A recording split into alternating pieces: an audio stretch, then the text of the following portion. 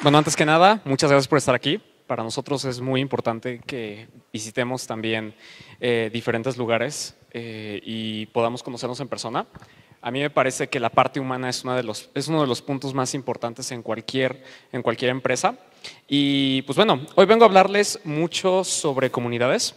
Eh, se va a complementar mucho lo que comentó Juan Pablo y básicamente les voy a dar conceptos muy, muy importantes de comunidades eh, tratamos de hacerlos muy simples con la intención de que eh, nosotros tampoco no nos perdamos en los conceptos, pero son muy poderosos. Eso de que la síntesis es lo mejor que puede existir, yo estoy totalmente de, totalmente de acuerdo.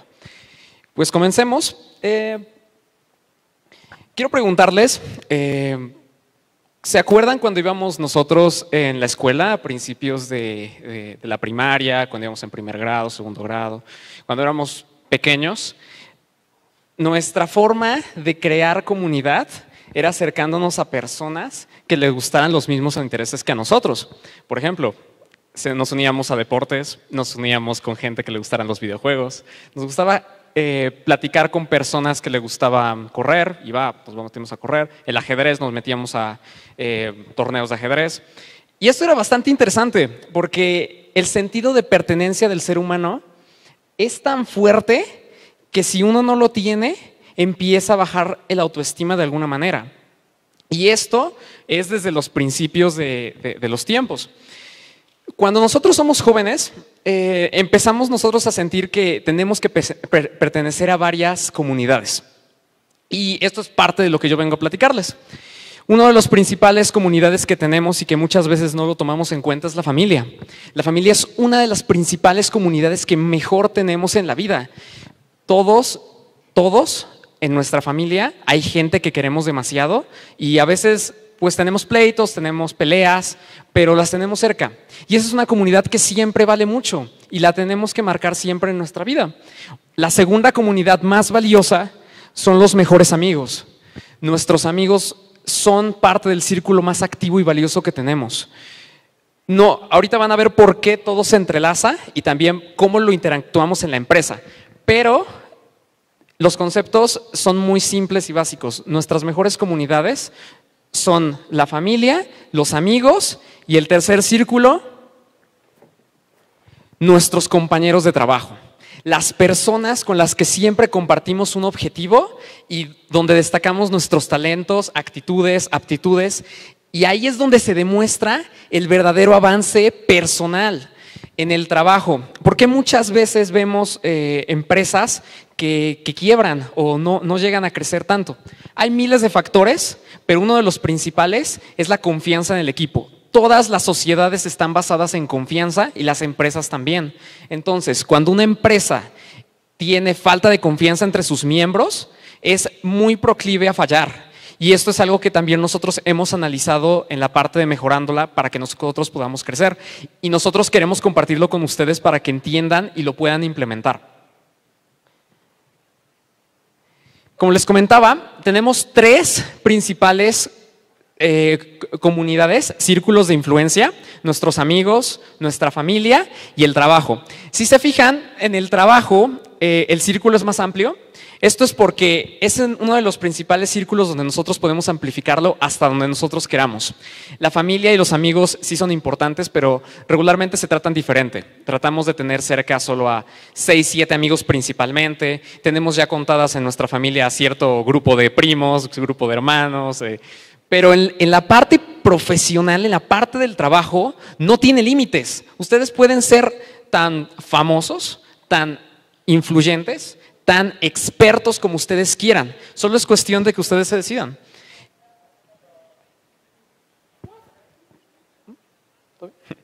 Ustedes son una marca. Juan Pablo lo menciona muchísimo en su conferencia todo es cuestión de venta, pero no es cuestión de puerta en puerta y, oiga, le vengo a vender un producto de belleza. O sea, eso no, no es la parte de lo que es venta. Una venta se vincula con una marca y una marca genera confianza. Y ustedes, cada uno de ustedes es una marca. ¿Por qué sucede que en las empresas, cuando van a pedir trabajo, eh, muchas veces si llegan en blanco, tienen una debilidad contra personas que ya conocen al empleador? Porque simplemente el empleador ya tiene una confianza sobre esa persona. En México es muy común escuchar, es que es una palanca. No, no es que sea palanca, es que ellos entienden el concepto principal la parte de las relaciones y la influencia es vital. Y no es cuestión de que solo estemos siendo sociales, es también la parte técnica, pero la parte social es muy importante. Este círculo representa la influencia que ustedes tienen a nivel profesional. Empezamos a ver que dentro de esa amplitud profesional hay dos círculos donde podemos destacar. La primera es la universidad. Nosotros en la universidad podemos encontrar mucha gente que es afín a nosotros y empezamos a hacer trabajos eh, muchísimo más fuertes, empezamos a trabajar alguna investigación, alguna tesis y destacamos, al profesor, le encantó y de repente nos presentó a alguien eh, del sector y de repente ya estamos haciendo un proyecto grande. Ese es uno de los principales círculos que nosotros tenemos. Otro de los círculos son los cursos. Cuando ustedes van a una conferencia, por ejemplo en esta, a lo mejor conocen a varias personas que tienen afinidad con ustedes y de alguna manera pueden ser amigos suyos. Y eso ya se genera confianza. ¿Cuál es la diferencia de tratar de hacer amigos en el metro, donde todo mundo, pues nada más la única afinidad es que están en el mismo metro, cuando están aquí en una conferencia donde a todo mundo le encanta la web? Bueno, aquí es más fácil que ustedes puedan hacer networking. Ahora, el último círculo de, el último subcírculo, puede haber más, pero uno de los últimos subcírculos son las empresas. Algo que yo estoy muy en contra en, cuestión de las universidades es que no se les exija más a tomar prácticas profesionales. Eso es algo que a mí no me, no me late tanto, porque la parte de las empresas es que ustedes pueden empaparse de la gente que está haciendo cosas, la gente que está creando, y ustedes pueden compartir esas ideas con ellos. Sucede que acaban las carreras y muchas personas no tienen todavía idea de dónde quieren ir. No es que sea malo, simplemente es que hay que exigirnos un poco más de estar trabajando todo el tiempo, entrar a proyectos por decisión propia y nosotros escogerlos. Eh, estaba, estaba, platicando con, con, Magio, que va a ser uno de los chicos del Ignite, eh, que él siempre, eh, nunca ha buscado trabajo, siempre le ha llegado trabajo porque él de repente se pone en los lugares correctos. Y eso es bastante bueno. Las personas crecen a partir de la, de la interactividad que hacen día a día. Si yo quiero ser uno de los mejores desarrolladores web, bueno, trabajo en una de las mejores empresas que puedo, en mejorándola. Si yo necesito y tengo que hablar de emprendimiento, bueno, voy y creo una empresa. Si yo necesito aprender de diseño, me voy a las mejores conferencias, aunque cueste un poco, y me pongo en el ponente con el conferencista, hablo con él, le platico lo que estoy haciendo y yo trato de entrar en los círculos de influencia. Eso es parte de lo que significa crear comunidades. Y así crecen. Conforme nosotros vamos amplificando los círculos, su, influencia va creciendo. Y esto es algo maravilloso. Eh, el concepto es muy fácil, pero en ese sentido, si lo podemos aplicar de forma personal, lo podemos aplicar de manera empresarial. Y aquí es donde viene lo interesante y cool. Cómo nosotros podemos convertirnos en un líder de comunidad. La manera en cómo podemos incrementar los círculos de influencia, como se los mencioné anteriormente, es siendo líderes de comunidad. Hay mucha gente que me habla de que el liderazgo es solo para personas que son extrovertidas. Para nada. El liderazgo no tiene nada que ver con eso. El liderazgo es una decisión, no un rango, no un puesto. El liderazgo es una decisión, preocuparse por la gente. Muchas personas entienden el concepto del liderazgo muy cliché es que liderazgo es pasar al frente, dar conferencias, es mover gente.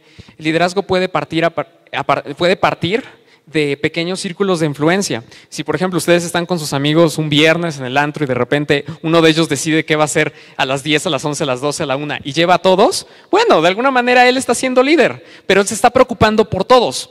Si él de repente a las 12 llega, los lleva al antro y se va y los deja, en ese momento deja de perder ese sentido de líder porque él solo pensaba en él. Entonces es cuando uno empieza a pensar, es que esa persona no era líder, simplemente tenía muy buen vocabulario y nos trajo a todos y nos dejó plantados. Ese es el punto de vista de los líderes. Ahora, en Comunidad Mejorándola, que es una de las secciones de, de Platzi, donde nosotros trabajamos muchísimo, Nosotros utilizamos tres variables para saber si una persona es líder. La primera, el enfoque y la especialidad. Hay mucha gente que es excelente, excelente, excelente programadora. El problema es que está en mil cosas. Programa, diseña, marketea, eh, hace UX, eh, pero trata de meterse en todas las cosas que puede y al final no es bueno en nada y no se especializa. Y eso no hace que destaques muchas de las personas que conocen y con las que se quieren tomar fotos tienen una palabra clave que los identifica. Ah, sí, emprendedor. Ah, sí, es backend. Ah, sí, es frontend. Me voy a tomar foto con Leonidas. Leonidas igual a frontend. Genial, me tomo foto con él. La especialidad hace que ustedes destaquen. Y eso es algo que nosotros tenemos que estar aprendiendo todo el tiempo. Una de las segundas variables que nosotros medimos mucho es la parte social. Existe mucha gente que es muy buena programando, pero no quiere hablar con la gente. Y la parte social es algo bien vital. Nosotros hemos encontrado gente de mejorándola en los cursos que quiere entrar a participar con nosotros. El problema es que no es muy comunicativo, no se comunica con la gente, eh, le cuesta trabajo. Y como yo les mencionaba, el liderazgo es una decisión, no un rango. Si ellos no quieren dar el paso de ser un poquito más sociales, entonces es cuando se traba su nivel de influencia. Y finalmente, el último, eh, el último punto es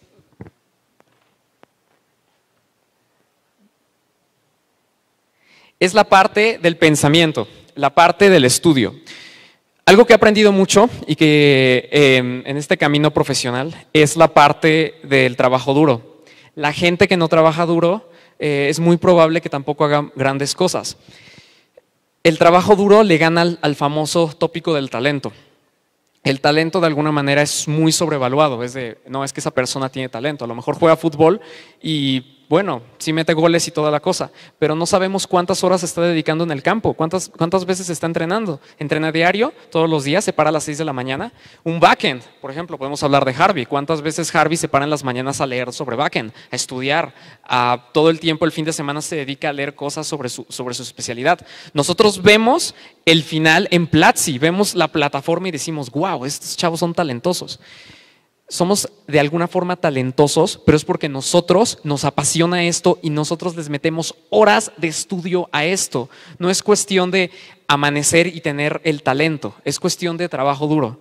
Si, si, a mí, si ustedes se llevan ese concepto, va a ser un win bastante genial.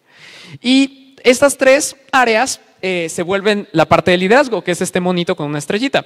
Cuando una persona es líder, cuando una persona tiene bastante potencial, regularmente se siente, se apasiona y lo platica a todo mundo. Ustedes ven una persona que le encanta el deporte y de repente está hablando del deporte, oye, es que me encanta esto, me encanta el otro, es que esto está bien, esto está mal. Una persona que le encanta el diseño gráfico, oye, es que me encanta la parte de síntesis, oye, este libro es buenísimo, oye, me, bajé 10 libros de Kindle en, en ebooks y vaya, no me, no me interesó gastarme 3 mil pesos en libros. Ese tipo de personas es gente que le encanta estarlo comunicando a todo mundo. Existe una ley que habla sobre que las, sobre ustedes son el promedio de las cinco personas con las que más se juntan. Cuando ustedes están con personas que les gusta el fútbol, o sea, imagínense que ustedes llegan en ceros a un lugar y empiezan a juntarse con cinco personas que les gusta el fútbol, bueno, al tiempo les va a empezar a gustar el fútbol. Si ustedes se juntan con cinco personas que son emprendedoras, de repente ustedes les van a hacer el gusto por emprender. No sabemos por qué, pero les van a hacer el gusto. Si ustedes son excelentes programadores, de repente a las cinco personas que ustedes tienen más cerca, les van a empezar a generar la curiosidad de, ah, pues programa, ya sé de qué programa. Por eso Silicon Valley trata de juntar una comunidad de gente que le gusta eso mismo a nivel geográfico.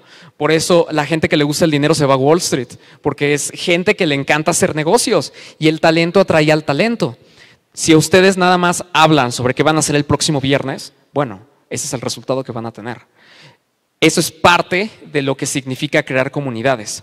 Si ustedes se juntan con gente que los reta, que los hace crear, que los hace ser líderes, de alguna manera todos van a, querer ser líderes. Carlos Jiménez está dando una conferencia, pero todos estamos aquí dando una conferencia y lo apoyamos y nosotros sabemos que Él nos va a apoyar a nosotros. Ese tipo de comunidades es lo que se forma. Es algo bien simple, es, algo, es un concepto bastante, bastante interesante, pero a mí me gustaría que, pusiéramos que nos pusiéramos a reflexionar a cuántas personas nosotros estamos influyendo y de cuántas esas personas nos están influyendo a nosotros. Si hay mucha gente que nos está diciendo que no podemos hacer las cosas, es muy probable que empecemos a crearla, a crear eso.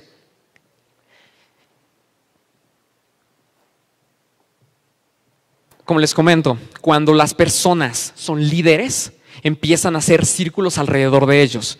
La gente atrae al talento.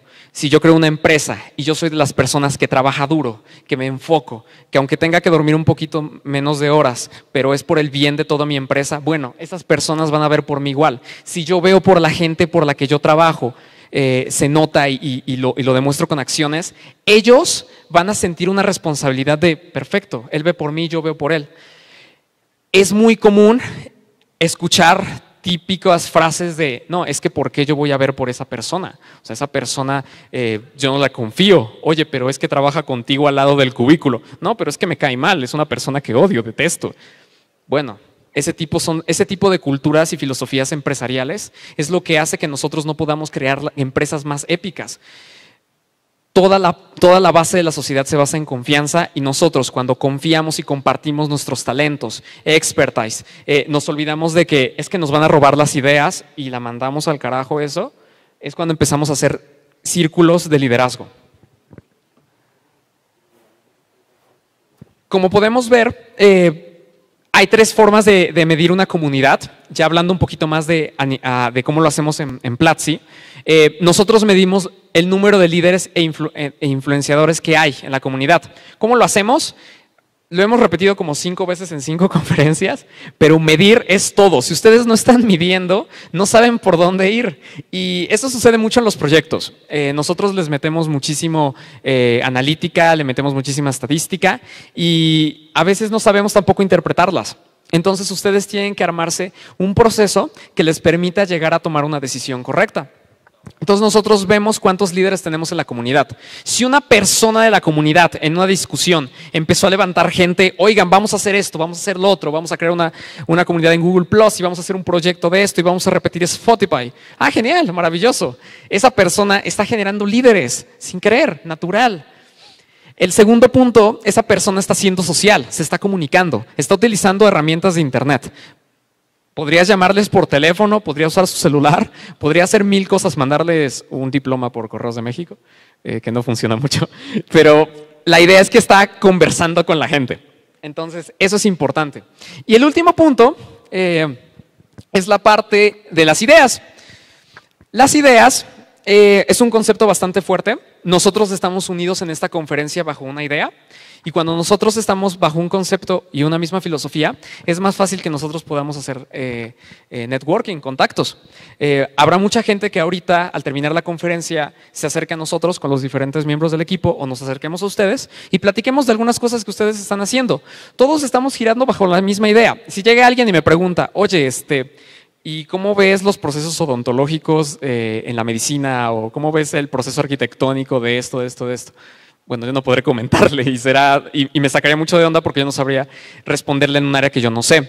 Regularmente yo ya me espero de qué tópicos me pueden preguntar. Pueden preguntarme sobre web, pueden preguntarme sobre diseño, sobre marketing, sobre desarrollo web, pero básicamente nosotros estamos bajo un mismo concepto y ese concepto genera ideas, genera filosofías. Y eso es básicamente lo que es, lo que es eh, este foquito. Eh, la parte de la, de la, conversación es algo bien importante que nosotros hacemos. El Internet, el Internet es una mera herramienta. Antes del Internet siempre hubo empresas que crecieron enormemente y no necesitaron de esa manera de comunicación. Hoy tenemos esa bendición, pero hace tiempo no era necesario. Hacían empresas grandes con un teléfono, con, con, una carta, con un telegrama, lo usaban eh, y, y no tenían Internet. Entonces, el Internet es la herramienta que agiliza los procesos, mas no significa que esa sea la verdad absoluta. ¿Por qué creen que muchas empresas tienen su página de Facebook y solo tienen 20 likes y son los mismos de la empresa y los obligaron a darle like? Porque simplemente no está pegando. O me ha, no, me ha tocado también que llegan personas que me dicen, oye, es que yo tengo una taquería y este, pues yo quiero ponerle eh, una página de Facebook. Ok, genial. Vamos a medirlo, vamos a hacer toda esa parte. Vamos a hacer toda esa parte y bueno, ¿cuál es la, idea que podemos usar para las páginas? Eh, ahí es cuando tenemos que ver, ok, quién es el público que te visita, cuántas veces han entrado. Eh, vamos a platicar con ellos y vamos a tratar de hacer un proceso de medición. Esto es básicamente lo que tenemos que ir haciendo a nivel de comunidades. La medición es vital, como se los había mencionado anteriormente. Y finalmente, la parte de escalar. Cuando ustedes aprenden a medir, eh, que básicamente nosotros lo que hacemos es usar Google Analytics. Nosotros sabemos cuántas personas le dan clic al material, cuántas personas se mantienen en el sitio, cuántas personas crearon discusiones, entre quienes están platicando. Eso es un poquito weird, pero sabemos cómo están platicando. Eh, y nosotros sabemos y medimos todo eso, porque nuestra idea principal es que podamos nosotros aumentar el círculo de líderes, que hay. Eh, es un concepto, ha sido un concepto que hemos estudiado mucho pues nuestra idea es que exista más gente en desarrollo web que pueda crear más proyectos. Eh, hay gente que es muy buena, pero la idea es que traten de hacer equipo, traten de juntarse con gente que, que le apasiona lo mismo que ustedes, se complementa y puedan eh, vencer un objetivo más grande. Eh, es como cuando, no sé, jugamos algún RPG y eh, necesitábamos tres personas para vencer un monstruo de nivel 100. Pues era básicamente eso. Nosotros teníamos que hacer equipo con otras tres personas de diferentes especialidades para poder vencer ese objetivo real.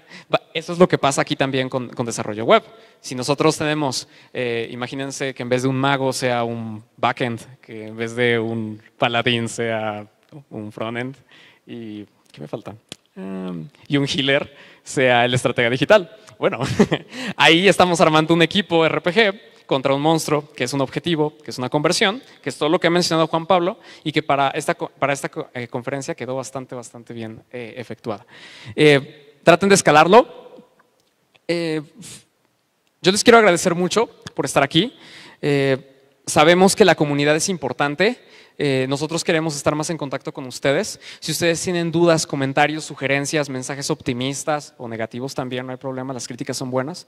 Eh, nosotros estamos para ustedes, las empresas son para la gente. No sé, obviamente, si hay modelos, eh, si existen modelos de negocio, existen procesos, pero una empresa existe para ayudar y resolver problemas de las personas. Si no tienen en esa, en esa filosofía esa parte, entonces la parte de creación de comunidad no funciona y entonces pues una, empresa puede fallar. Eh, sean los, sean, traten de ser líderes de comunidad y bueno, nosotros los esperamos en Platzi y muchísimas gracias por su tiempo tan valioso.